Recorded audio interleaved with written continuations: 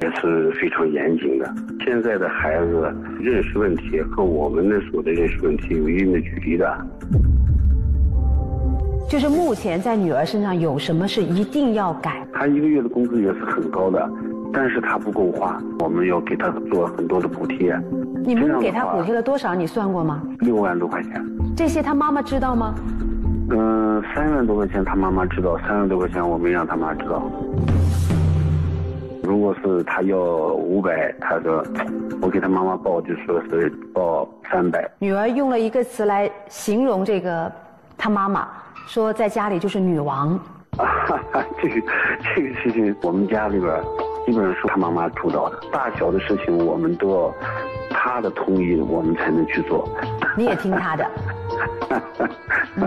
也是说是错的事情，我肯定不会听他的。但是在女儿看来哈，她觉得在这个家里头，你是跟妈妈站一边的。关键是我在野外工作很少跟孩子在一块儿，他妈妈的这边的东西我听的比较多。我现在刚退休，我就到西安来了，亲自在我女儿身边，这样的话我就多接触她一些。明白。先聊到这儿啊，也谢谢您。嗯，好，再见。刚刚说到那个钱的时候，我看见简女士这边整个人都坐直了，出乎您的意料了是吧？真是老叛徒，也出乎我的意料了，我都没见过这么多钱。我撑死知道的就两万块钱，他那剩下四万怎么来的我都不清楚。什么给三百多五百的，我从来都不知道这事儿。他只是个打个比方，你要两千，他可能给你给五千，就这个意思。他给的就是两千，你觉得像他那么抠的人，他会给我给五千吗？看，叛徒还。弄个白眼狼，不是，就是，这个水分不能在这地方向，这是现在解决问题呢，哪能这样？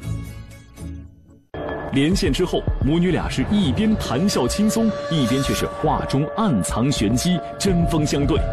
面对相爱又相杀的母女俩，我们的调解团队能否为这场调解打开新局面？观察员、关文率先发言。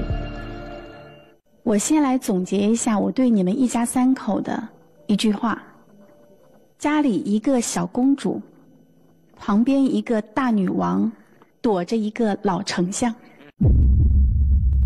为什么我会说爸爸是老丞相呢？他太极打得好啊！他在你们俩中间，这太极从左到右，这谁都没他溜啊！但是这个代表什么？代表这个男人太爱你们两个女人了。你觉得这个女王她要我们所有人都去宠着她，对吗？我觉得小毛在对待妈妈的这个关系上面，宠少一点儿，爱多一点儿。十年前，当他发那个什么白发飘啊飘什么，你看我尸体的那些话的时候，其实小毛你的内心是比较崩溃的，你感受到的是来自母爱的一种巨大的压力。在这样的一种压力之下，你决定你退让，从深圳回到了妈妈的身边。我觉得你太宠她了。最后的代价是什么？是你错失了十年你自己事业发展的最好的机会。但是反过头来，这个妈妈要爱呀！你别以为所有人都宠着她，如果她真的是一个不缺爱的人，她的焦虑感从哪儿来呀？她为什么会在你半夜不回家的时候担心成那个样子啊？所以呢，当她表现出她的焦虑时，请你也尝试。再多爱他一点，告诉他说：“妈妈，我马上回家。”或者“妈妈，我几点钟回家？”今后这种方式，可能你还得再稍微的多做一点妈妈这边，我要对你说的是，请你心少一点，疼多一点，心多放点在自己身上，多放点在老公身上。那个老叛徒很可爱的，就拿对小毛工作当中的帮助来讲，其实几万块钱。给自己女儿花，你的内心完全是愿意的，你心里只有一个目的，就是让她安稳下来。可是呢，由于你的表达方式，最终导致小毛不仅不认你的情，还因为这件事情把你给记恨上了。所以心要少一点。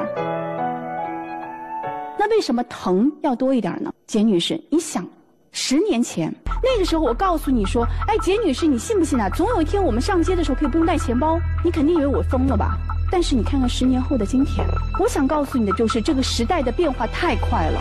所以当你在看不懂年轻人的一些消费观念和他们在面对职业选择时所面对的压力、痛苦、纠结、焦虑、抑郁的时候，一定要给他足够的疼惜。有了你给他的疼惜，才有了他自己顶天立地的。